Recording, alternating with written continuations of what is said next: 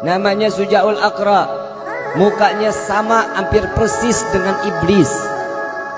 Gigi bawahnya sampai kepada hidung panjangnya. Gigi bawah ke gigi atasnya terus sampai kepada dagunya. Kupingnya dalam keadaan yang sangat amat tinggi dan tajam. Buntut daripada ular tersebut seperti mata bor. Ujung daripada mata bor dengan begitu tajamnya. Ular ini akan mendatangi orang yang tidak salat. Yang meninggalkan salat satu kali dalam keadaan sengaja dia pernah meninggalkan salat maka ular tersebut akan mendatanginya dan mengatakan assalamu alayka ya ahlan nar.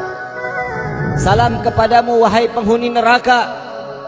Lalu tidak banyak bicara ular tersebut sujaul aqra menembuskan daripada buntutnya dan masuk sampai daripada duburnya keluar sampai ke dalam mulutnya.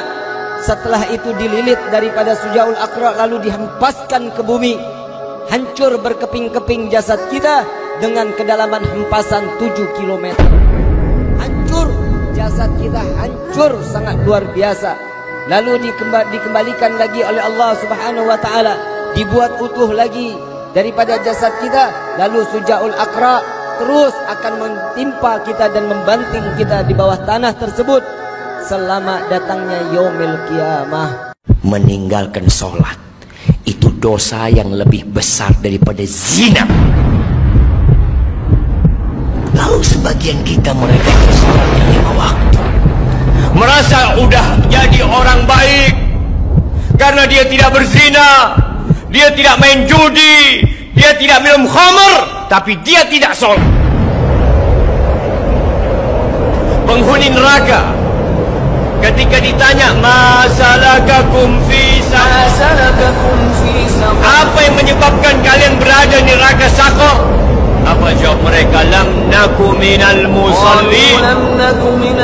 Kita bukan termasuk orang-orang yang mendirikan solat. Sebagian orang Masya Allah Sebelum masuk jam kerja sudah ada di tempat kerja Tiap hari dia lakukan itu. Berapa dia digaji? Kenapa ketika panggilan Allah?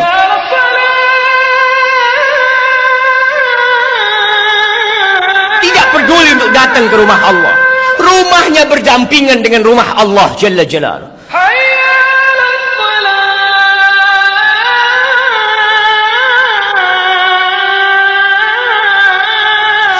kau cari dalam kehidupan ini? Rasulullah sallallahu alaihi wasallam Beliau mengatakan al-ahdul ladzi bainana wa bainahum as-salah faman tarakaha faqad kafar. Yang membedakan kita sama mereka tu sama orang yang kafir tu salat. Maka siapa meninggalkan salat dia telah kafir. Pelajari yang sudah salat apakah salat dia sudah benar apa belum? Jangan sampai kita capek lelah salat akhirnya tidak diterima. Karena ada orang yang salat tapi dia riak. Waktunya. Tidak perlu dengan rukun dan syaratnya. Di surat Al-Ma'un Allah katakan Fawailul Celaka orang-orang yang salat. Apalagi tidak salat. Kata Rasul sallallahu alaihi wasallam, "Inna ar-rajula la yusalli salata sittina sana." Ada orang yang salat selama 60 tahun dia salat. Walam tuqbal lahu solah satu pun solatnya nggak ada yang terima. Yutimmu ruku'ahu wala yutimmu sujudahu. Yutimmu sujudahu wala yutimmu ruku'ahu.